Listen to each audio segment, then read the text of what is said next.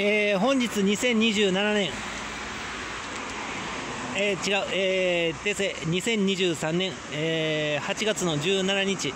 え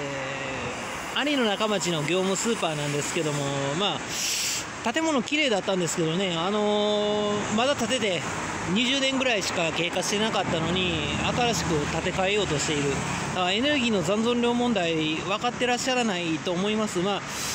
ちらはまああの一応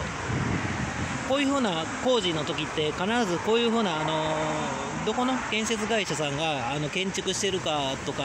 張り出さなきゃならないっていう話になってるんですけどもまあ法律でそうなってます。だけどもその建築業者さんにそれ言ってもしょうがないと思うんで業務スーパーさんの方に言わなかったらあそこは分からないんですよね。あの業務スーパーさんって地熱発電頑張ってたはずなんですよ。でそれは自然再生可能エネルギーであってガソリン石油の残存量とかガスの残存量ウラン鉱の残存量石炭の残存量こういったところから真面目に取り組まれていたはずなのに簡単にこんなにあの建物を建て替えちゃダメ本当に。